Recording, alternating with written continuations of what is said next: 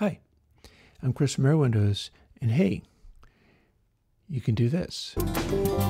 But not just that.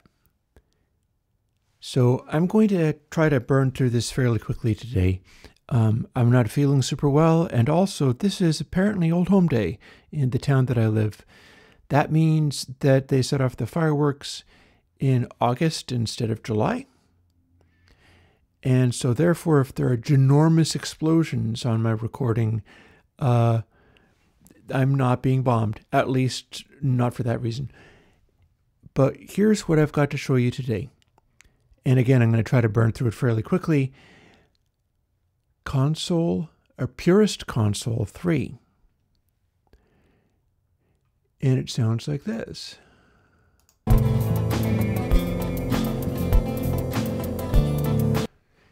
Now we can bounce around off of different recordings because what's going on here is that I've got three different recordings. And one is where you originally heard that music, console zero. This is what console zero sounds like. Console 3 is another very simple algorithm for console to run on. And it's stripped down to be almost nothing. Like I had to set up those recordings using um, bit shift pan to reproduce what's built into console zero. And then I set the console zero settings to nothing because console three has no controls at all. And so I'm reproducing what those do. But there's something special about console, uh, Purest Console 3. Again, here's console 0. Purest Console 3. It's not doing that filtering that console 0 does, which can be heard even on 96K.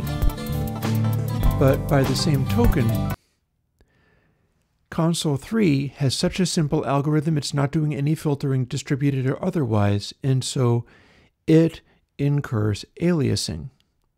And the reason I'm putting out Console 3, or Purest Console 3, sorry, don't go looking for Console 3, it's going to be Purest Console 3, is because this one is designed to run with oversampling. And I downloaded a new version of Reaper so that I could enable oversampling. Let me take a moment and show you what that looks like. In order to do oversampling, what you do is you go to the FX section, whether that be on your master bus or on the channel. And you can see that's not actually turned on because we're not listening to this through it. But if you have your uh, channel open, or whatever it is, you click on that FX section, and then you right click on the plugin that you want. You get to choose chain oversampling, which is oversampling of the whole entire channel, or instance oversampling and we can set it to say 768K. And now that plugin is oversampling to 768K. Now this entire rig, and I can turn it back off again like this. It's actually not going to do oversampling to 96K because this whole project is running at 96K. Now I ran that on the entire mix and the entire mix of Console Zero was very efficient. It ran about 3 4% uh, CPU for the whole mix, 16 tracks, or nearly 16 tracks. Console Zero was even more lightweight. So, Zero like this, Console 3, it's not doing that filtering, it's even more lightweight. Then I turned on oversampling to 768K for every single instance of Console 3 in the mix. And we got this.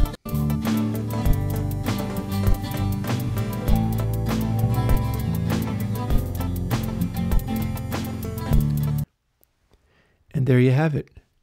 And I might add, console zero, I'm sorry, I'm not feeling well and I'm very distracted. The fiber optic to my house has been installed, but it's not been installed inside the actual house yet. With a bit of luck, that will happen on Monday. And yeah, there's a whole bunch of other stuff. I, am working on a song to put out. There's just a lot going on. But uh, Purest Console 3, which is the plugin I'm putting out right now. That is, of course, Patreon supported, open source, and absolutely free. And I'm showing it to you in Reaper. And you get to use Reaper in trial mode as long as you like. I paid for mine, but I have an instance that's running on my uh, virtual Windows install and has been doing so for years just to see what would happen. And they don't seem to ever come after you. So I would I would endorse. Uh, I am a fan of Reaper, and it is letting you oversample built in to the DAW. So all this is free. You get to just use all of this going forward. Now I am going to suggest something. Let's bounce back and forth rather quickly between two of these examples console 3, or Purest console 3 oversampled to 768K for every single instance of Purest console 3 channel and bus, or console 0, which is not oversampled at all. And console 0 runs about 3 to 5% CPU. A Purest console 3 by itself runs about 3 to 5% CPU oversampling everything that much on the entire project got me up to about 30%. That's all. Probably would have run a little bit higher if I had oversampled the entire chain, but I mean, I'm saying you can do that. That is something that you can do, and this is what the oversampled one sounds like.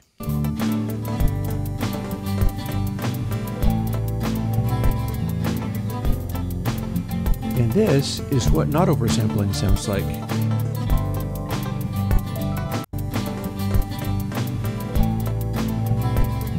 You can hear it's doing something. We don't actually need the slight crunchiness that it gets. But I'm still not sold on oversampling as my preferred way of going about things. This is the oversampled one again. And it is definitely kind of softer, kind of purer. There's good things about it. But you bounce back to Console Zero, which is full on the minimal processing version.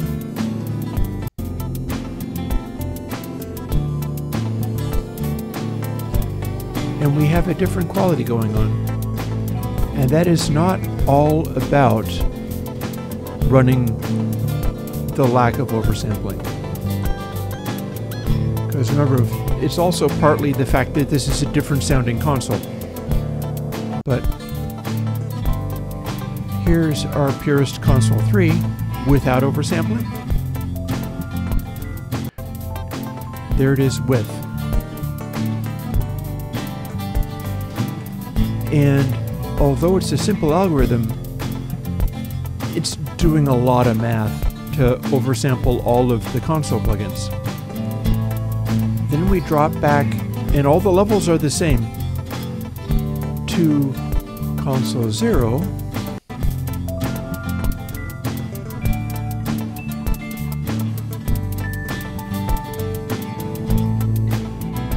Now you don't have to like this better. But you gotta admit, this is sounding different than this.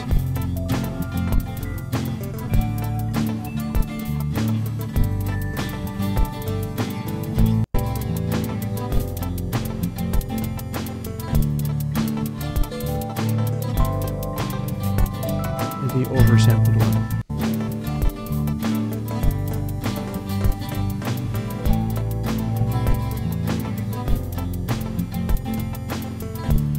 And let's do a little outro. Firstly, the regular console, uh, Purest console 3 without any oversampling.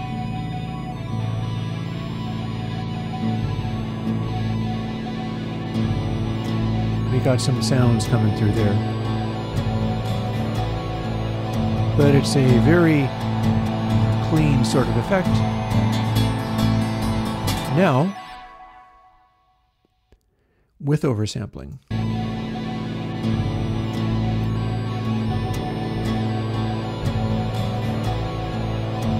And it's good at cleaning up some of the high notes and things.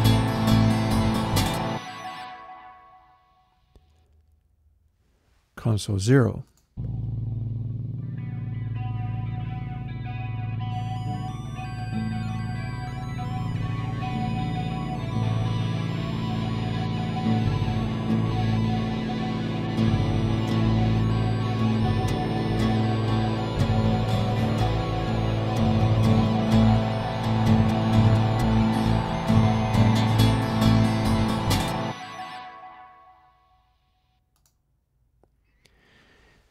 So I hope you enjoy Purest Console 3.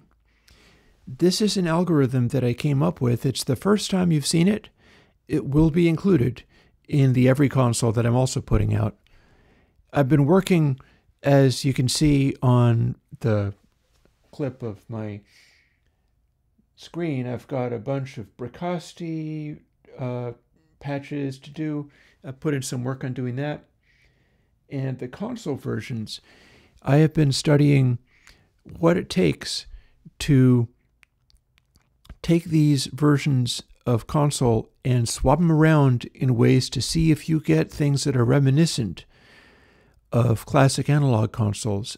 And I came up with some really interesting results. And this plugin, the Purest Console 3, is actually, I ended up calling it B Shifty. Uh, it's actually useful for things like being able to get a TG12345 emulation. I think that's the only place I ended up using that. But yeah, it's all part of the work.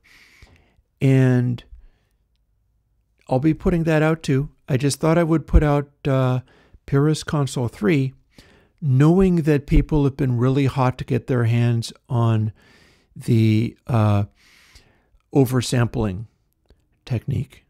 Also, note that just like I used this, I'm using it in Reaper and I'm using just the console plugins with really heavy oversampling. And you heard what it does. Purest Console, the original Purest Console, is also available for doing that with. Purest Console 2, not so much because that's the one where the distributed filtering uh, plays a role.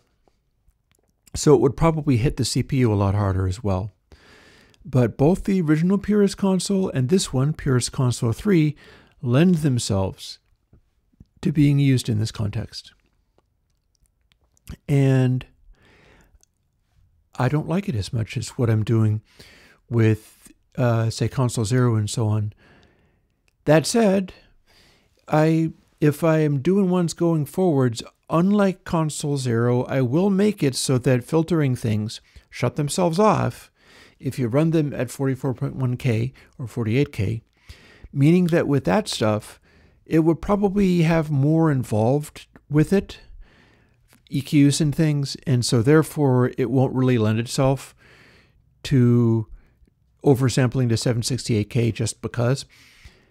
But um, if your project setting is set much lower, it ought to uh, behave itself in that way. So stuff that I'm doing going forward should be able to adapt. Console Zero is a special case. Console Zero is the experimenting that I was doing, trying to minimize processing, which is the opposite of what oversampling does. And well, you heard it. And I'll talk to you later. I'm going to get back to work now. Bye bye.